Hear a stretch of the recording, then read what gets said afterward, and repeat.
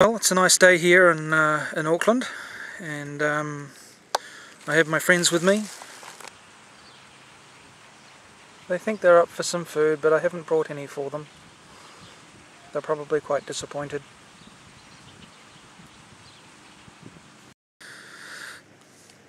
Being a Stoic isn't about being macho or tough. It isn't about not having any emotions. Um, it isn't about suppressing your emotions.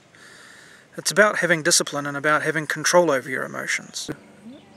The, the main thing, I guess, with, with Stoicism is that we accept reality for what it is. We accept life for what it is. We don't, um, we don't kid ourselves into believing that there's some magical afterlife or that uh, life has some broader meaning that is hidden from us. Um, in fact, that life itself is given meaning by what we do and how we act and the decisions we make.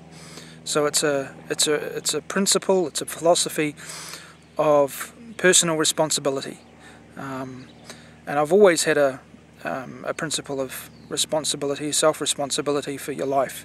Um, what happens to you is only in your control. Um, in as much as you have control of your life, it is your responsibility to, to influence it and to direct it, because no one else should, um, least of all, um, some religion.